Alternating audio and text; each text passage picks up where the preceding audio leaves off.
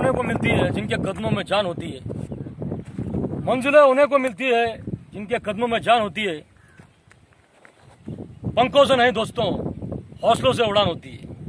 क्या बात है। तो दोस्तों, आज आपके सामने मैं हाजिर हुआ हूँ। एक छोटी सी, एक बात आपसे शेयर करनी थी मुझे। तो बात ऐसी है कि, बहुत बार ऐसा होता है कि जिस एरिया से हम लोग बार बार सांप पकड़ते हैं और कुछ एरिया ऐसा होते हैं कि जहाँ पे एक ही नस्ल के सांप हमको मिलते हैं। जैसे अभी मेरा एक कुछ कुछ मेरे ऐसी एरिया है कि वहाँ पे सिर्फ़ धामन सांप मिलता है रेड स्नेक। दूसरा सांप जो वहाँ पे मिलता नहीं कभी भी, हमेशा वही मिलता है। और मैंने लोगों को समझा के रखा है, लोगों ने पहचान भी लिया है उसको अच्छी तरह। तो हुआ यह था कि मुझे एक शादी का ऑर्डर था। तो उस ऑर्डर पर मैं गया था और मुझे एक शख्स ने फ़ोन किया, बोला कि एक सांप है, बहुत बड़ा, आप जल्दी आइए। तो मैंने उसको बोला उस वो जो जिस एरिया से फ़ोन आया था, वो उस एरिया को मैं पहचानता हूँ। तो मैंने उनको कहा कि वहाँ पे वो धामन साहब है तो आपको डरने की ज़रूरत नहीं है। और अगर मैं वहाँ पे खुद भी आऊँगा तो मैं उसको रेस्क्यू नहीं करूँगा, क्योंकि ऑलरेडी वहाँ पे काफ़ी खुली जगह है प्लॉट है, पीछे सामान पड़ा हुआ है, कचरा पड़ा हुआ है तो वहाँ पे वो घूमता है। तो मैंने बोला कि अगर मैं आ भी गया तो मैं पकड़ूँगा नहीं उसको तो आप घबराओ मत। तो उसने क्या किया, उस सांप की एक दो चार फ़ोटो ली, और फ़ोटो लेकर जो उसने मुझे मेल की।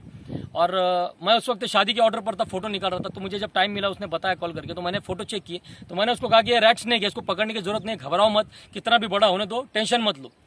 और जब मेरा ऑर्डर फ्री हो जाएगा तो मैं एक चक्कर मारूँगा आकर।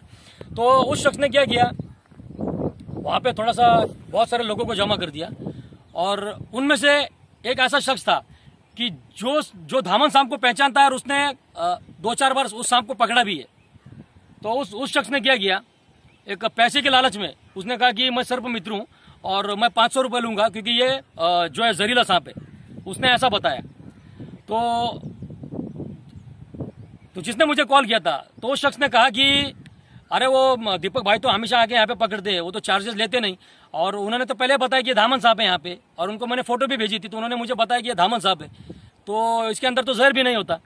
तो उसने कहा कि देखो धामन साहब ऐसा है कि कुछ धामन साहब में बहुत ज़्यादा जहर होता है और कुछ धामन साहब में जहर नहीं होता। तो ये क्या कर रहा है? समाज को जो है भड़का रहा है और बहला फुसला कर पैसे हटने का काम कर रहा है।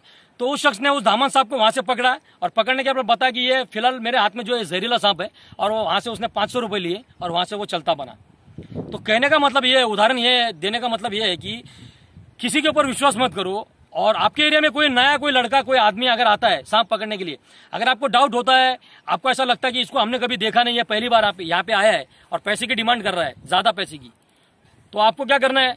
उसको पकड़ने के लिए देना नहीं है। आप अगर मुझे कॉल नहीं लगता तो आप मुझे बताइए, मैं दूसरे सर्प मित्र को भेजूँगा। आप आपके पास जिसका नंबर होगा, आप दूसरे सर्प मित्र को कॉल कीजिए, लेकिन किसी पे भरोसा मत कीजिए, क्योंकि बहुत सारे लोग क्या करते हैं शराब के लालच में, शराब पीने के लालच में उनको पैसे मिलेंगे, इस वजह से वो ज़बरदस्ती दामन साहब को पकड़ लेते, क्योंकि उनको पता है कि इसने कार्ड भी लिया तो उसमें जहर नहीं होता। लेकिन लोगों को पता नहीं होता, लोगों का डर बना होता है। तो फ़िलहाल इस बात से आप चौकन्ना रहें। जब भी आप कॉल करेंगे तो सही सर्प मित्र को कॉल कीजिए। और आपको थोड़ा भी डाउट होता है, थोड़ा भी आपको ऐसा महसूस होता है कि किस आदमी को हमने कभी देखा नहीं, या उसके पकड़ने के तरीके से आपको लगता है कि ये गलत हैंडलिंग कर रहा है तो उसको वहाँ से मना कर दीजिए। वो सांप वहाँ से छूट कर चले गया तो कोई दिक्कत नहीं है। लेकिन कल को उसकी अगर जान चले गई तो इसके जिम्मेदार आप होंगे। जिसने कॉल करके बुलाया। तो बस मुझे यही कहना था, सतर्क रहिए, खुश रहिए, सतर्क रहिए, चौकन्ने रहिए। आपको पता चल जाएगा कि वाकई वो सर्प मित्र है या कोई लोकल इंसान है, क्योंकि आजकल के जो नए बच्चे हैं, वो क्या करते हैं, वीडियो को देखते हैं और धामन साहब को पकड़ने की कोशिश करते हैं, थोड़ा स्टंट करने की कोशिश करते हैं। तो ऐसा करने देना नहीं है, क्योंकि अगर गलती से उसकी जगह पे कोई जहरीला सांप हो गया तो इंसान की जान चले जाएगी।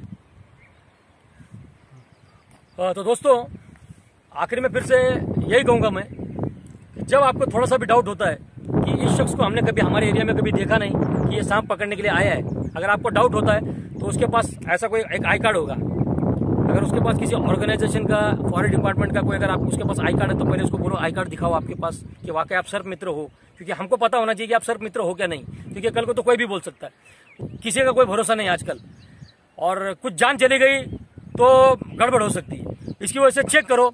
और अगर उसने सांप पकड़ लिया तो उससे आप कुछ कुछ सवाल पूछ लो। बाई चांस उसने पकड़ भी लिया। आपसे पकड़ने के बाद उसको कुछ आप दो चार सवाल पूछ लो, आपके मन में क्या सवाल है। अगर वो सही सर मित्र होगा तो आपको पूरी डिटेल देगा, पूरी जानकारी देगा, उसके पास आई कार्ड होगा।